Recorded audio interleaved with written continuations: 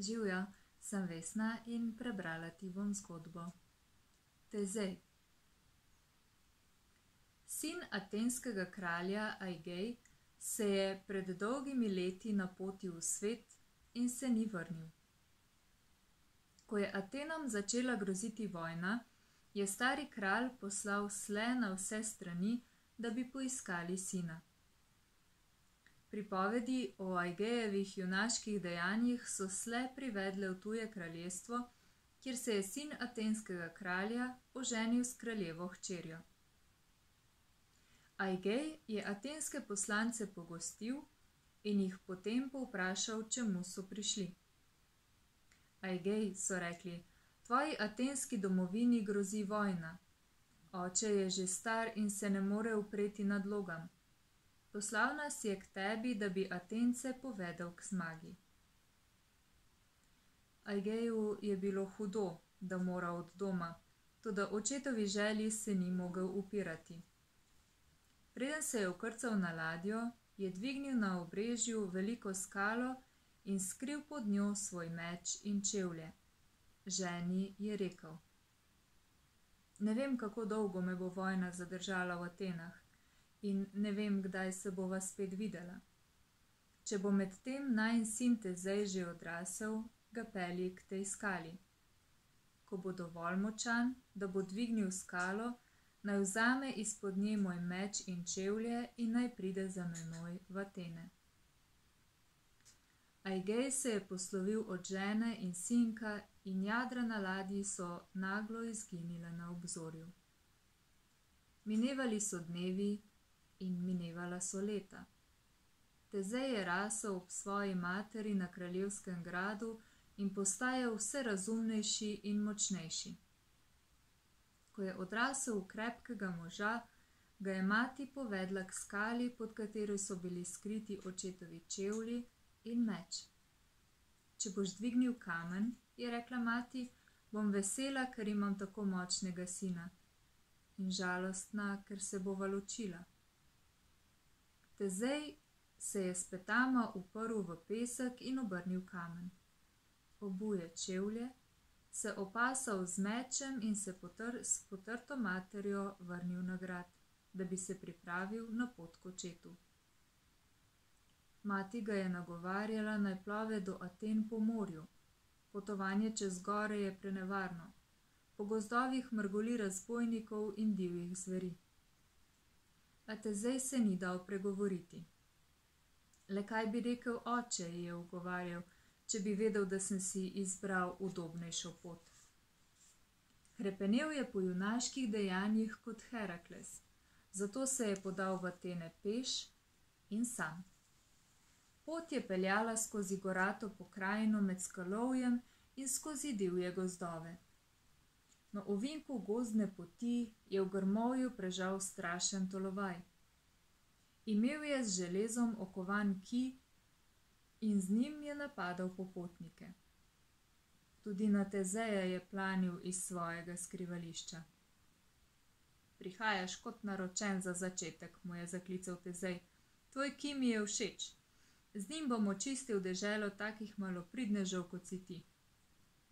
Izvlekel je meč zadal tolovaju veliko ran in ga na to prebodel, ki je vzel s seboj.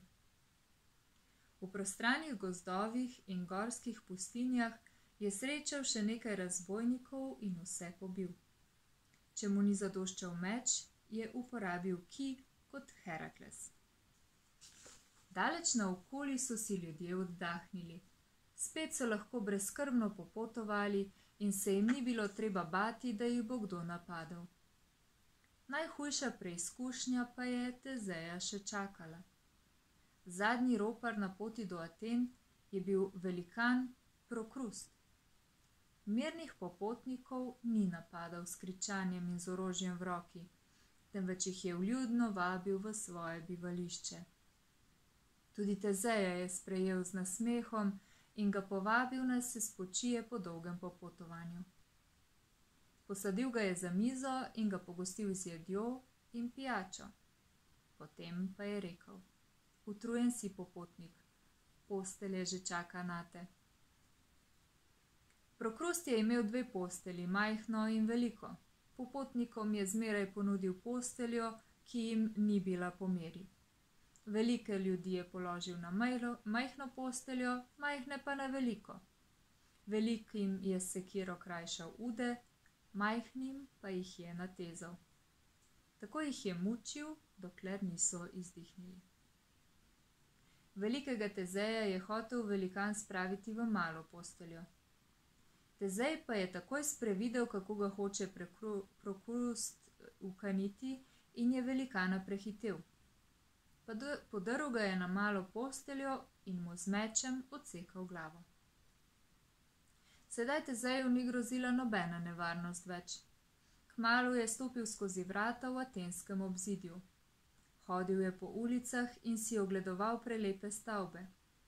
Ljudje, ki so ga srečevali, pa so radovedno opazovali njegovo zaprašeno obleko, ožgani obraz in dolge lase. Čudili so se velikanskemu kiju. Zidarji pa, ki so pripravljali Apollon tempel, so se tujcu začeli posmehovati. Tezej ni odgovoril. Molče je izpregel vole iz voza, ki je stal ob templju, zgrabil voz in ga vrgal na odr s posmehljivci. Vse, ki so to videli, je obšla groza in nihče ni ničesar več zinil. Pred kraljevsko palačo je stala množica razjarjenih mož.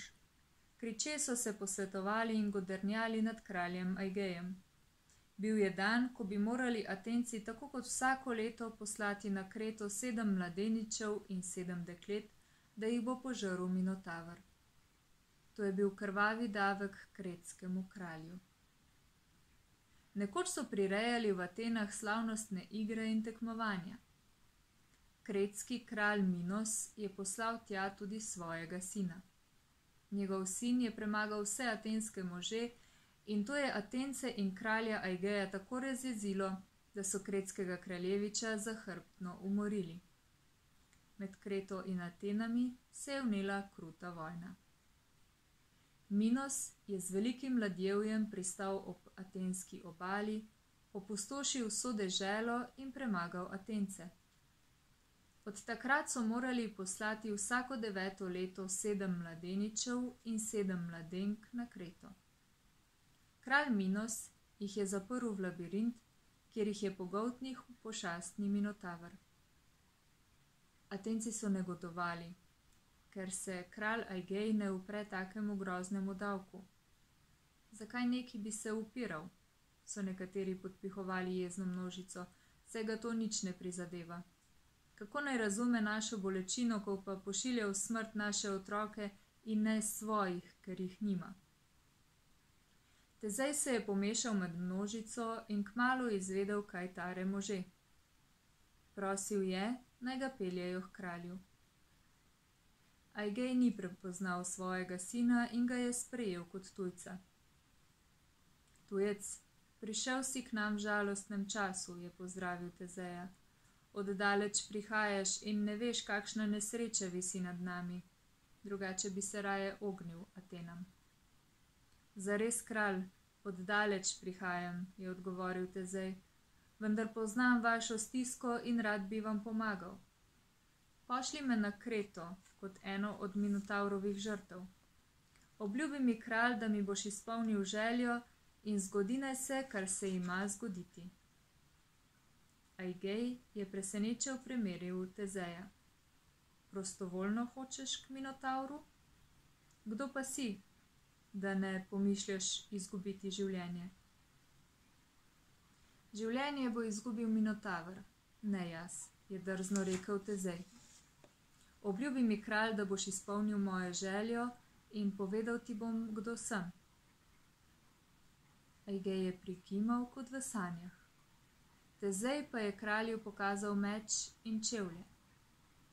Aigeju so se oči napolnile solzami, ko je objel sina komaj sem se srečal s tabo, je tarnal, že te moram spet izgubiti. Toda kralj ni mogel preklicati svoje besede. Vse Atene so zašumele ob novici kot drevo v vetru. O ničemer drugem se ni govorilo, kot o nenadnem prihodu kraljevega sina in o njegovi nameri, da ubije Minotaura. Ljudska množica je spremljala izbrane deklice in mladeniče v pristanišče. Žene so poljubljale Tezejevo orožje in vsi so navdušeno razglašali junakovo slavo.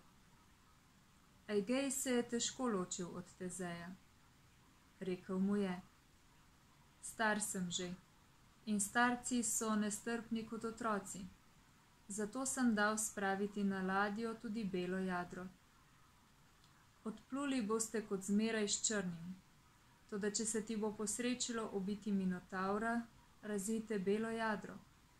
Tako bom že oddaleč videl, ali se smem veseliti zmage. Ladja je odplula in ljudje so se s kraljem vrnili v mesto. V vseh srcih je raslo upanje in blažilo bolečino obločitvi. V pristanišču na Kreti je atensko ladjo že pričakoval kralj Minos s spremstvom. Na breg je stopilo sedem deklet in sedem mladeničev med njimi tudi Tezej. Mladi junak se je razlikoval od drugih mladih Atencev tako po rasti kot po videzu. Tudi Minos ga je zadovoljno gledal. Tezej se mu je zazrl naravnost v oči in ga nagovoril. Ne misli si, kralj, da sem prišel sem kaj Minotauru za kosilo. Prišel sem, da bom pošast ubil in osvobodil svojo domovino strašnega davka. Kralj se je posmehnil. Če boš tako pogumen v dejanju, kot si v besedi, potem se ti bo mogoče posrečilo. Če boš ubil Minotaura, bom vrnil svobodo tebi in tvojim tovarišem, in Atenam ne bo več treba plačevati davka. V kraljevem spremstvu je bila tudi Minosova hči Ari, Ariadna. Kot omamljena je poslušala Tezeja in ni mogla utrgati oči od postavnega junaka. Hudo ji je bilo zanj, zakaj vedela je, da brez njene pomoči ne bo ušel gotovi smrti. Želja, da bi rešila Tezeja, je Ariadno po noči dvignila iz ležišča. Skozi spečo palačo se je pretihotapila do ječe, v kateri so junak in njegovi tovariši čakali jutro. Vsi so že utonili v miren sen, letezej je še bedel. Ariadna je odpahnila skrivna vratca in tiho poklicala zamišljenega junaka. Tezej je pričakoval pomoč od bogov, namesto njih pa mu je ponudila pomoč mlada in lepa deklica. Vem, da hočeš ubiti Minotaura, je Ariadna v naglici še petala Tezeju, vendar sam tega ne boš zmogel. Minotaura ne moreš ubiti z navadnim železom, zato sem ti prinesla čarovni meč. Prinesla sem ti tudi klopčič niti. Ko boš stopil v blodnjak, priveži konec niti k stebru in spotoma odvijaj niti sklopčiča. Če boš v boju zmagal, se boš ob njej lahko vrnil nazaj. Zdaj se je hotel zahvaliti dekletu, toda Ariadna je že izginila. Če ne bi držal v rokah klopke in meča, bi mislil, da se mu je le sanjalo. Zgodaj zjutraj naslednjega dne so stražarji odprli vrata ječe in nagnali mlade Atenčane k blodnjaku. Mladeniči so povešali glave, dekleta so jokala. Letezej je hodil drzno vzravnan in vse čas hrabril in spodbujal tovariše. Pod obleko je skrival čarovni meč in Ariadnin klopčič. Vstopili so v blodnjak, poln prepletajočih se hodnikov, temnih votlin in dvoran brez izhoda. Tezej je ukazal rojakom, naj ostanejo v hodniku blizu izhoda, sam pa je šel iskat Minotaura. Za prvi steber je privezal nit in med potjo odvijal podarjeni klopčič. Prostrana Dajdalova zgradba je bila nema kot grob. Tezej je taval po temačnih hodnikih in splašeni netopirji so ga skrili tolkli po glavi. Hodil je po dvoranah, kjer je zidovje žarelo v žarkem soncu in se pogrezal v lažne votline za dahom po plesni in gnilobi. Vse je bilo tiho, le kakšna mič, miš je od časa do časa stekla čez hodnik ter se skrila v luknjo, in pajki so bežali iz potrganih mrež. Tezej si je utrl pot s čela in stopil v dolg hodnik. Na njegovih zidovih, obsijanih soncem, je bilo videti zasušene krvave madeže. Nenadoma je tišino prebilo hromeče rjovenje. Tezej je stisnil dlani čarovni meč in šel za grozovitim glasom. Rjovenje je naraščalo. Kmalu je bilo podobno hrumenju razburkanega morja in zateglemu grmenju. Stebri po hodnikih so se majali kot viharju. Tedaj je za nekim vogalom Tezej zagledal Minotaura. Stal je nad kupom obeljenih kosti in stresal z velikansko bikovsko glavo nasajeno na orjaško človeško telo. Iz nozdrvi so mu švigali rumeni in zeleni plameni, in iz gobca je spuščal strupeno sapo. Stegnil je ogromno lopatosto taco, da bi zgrabil in zmečkal svojo žrtev. Toda Tezej je še pravi čas odskočil. Pošast je bila počasna in nerodna, tako da ni mogla slediti spretnemu in hitremu Tezeju, ki je napadal zdaj z te, zdaj zune strani. Urno je sekal s čarovnim mečem in uspela mu je zadeti Minotaura naravnost v srce. Zemlja je zabobnela, ko je pošast padla po tleh in se zarila vilovico, in odmev se je širil po vseh zavitih hodnikih, po votlinah in dvoranah. Zaslišali so ga tudi dekleta in mladeniči, ki so s tezejem prišli v blodnjak. Zdaj je Minotavr napadel tezeja in ga umoril, so rekli. Žalostni in prestrašeni so čakali na svoj konec. Medtem pa se je Tezej vračal skozi temne hodnike nazaj k izhodu. Nitka Ariadninega klopčiča ga je varno pripeljala do Atencev. Objemali so ga in mu srečni poljubljali lica in roke. Tedaj se je pred njimi prikazala Ariadna, kot bi zrasla iz tal. Hitro pojdite za menoj, jim je zaklicala. Moj oče je izvedel, da sem vam pomagala. Razjezil se je in ne misli držati dane besede. Preden bo poslal stražarje po vas, zbežimo na obalo in se ukrcajmo na vašo ladjo. Tekli so za Ariadno. Iz blodnjaka jih je privedla na pot, ki jo je poznala samo ona. Pot je vodila k obali in katenski ladji. Preden je kralj Minos spoznal, kaj se je zgodilo, je bila Tezejeva ladja že daleč tako daleč, da je bilo zasledovanje brez smisla.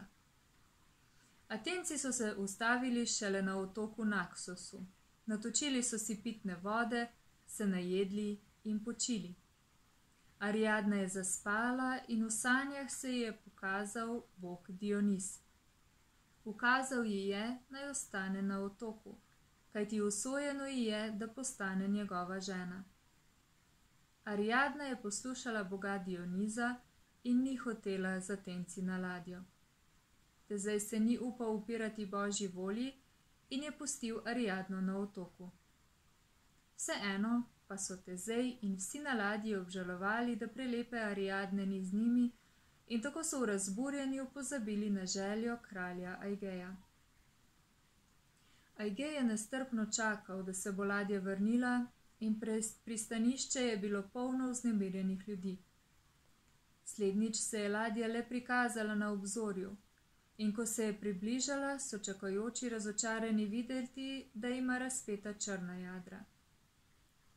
Aigej je bil tako obupan, da se je vrgal v morje. Zmagoviti Tezej je dekleta in mladeniče, ki jih je obvaroval smrti, izročil presre, presrečnim staršem sam pa svojega veselja ni mogel deliti z očetom. Ko je morje naplavilo truplo mrtvega kralja, ga je dal slovesno pokopati in v njegov spomin je priredil slavje, ki je potomce še dolgo spremljalo na vesele in žalostne prigode Tezejeve odprave. Morje, v katerem se je kralj utopil, se od takrat imenuje Egejsko morje.